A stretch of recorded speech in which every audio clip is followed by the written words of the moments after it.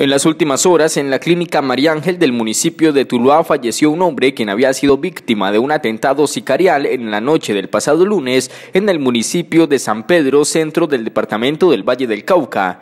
Según las autoridades, el hecho se perpetró en el barrio El Porvenir hacia las 7 y 15 de la noche, exactamente en la casa 32 de la Manzana E.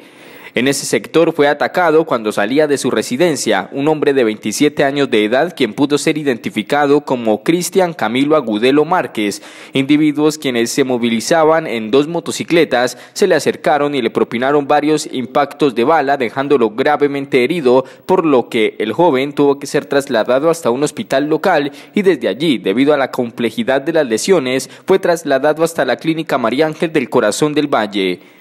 En el mismo hecho resultó herido un menor de 14 años de edad por una bala perdida. Las autoridades de esa localidad centro vallecaucana están adelantando las investigaciones correspondientes del caso que esperan esclarecer lo más pronto posible y también capturar a los autores materiales e intelectuales de este asesinato que alteró la calma de los habitantes del municipio de San Pedro.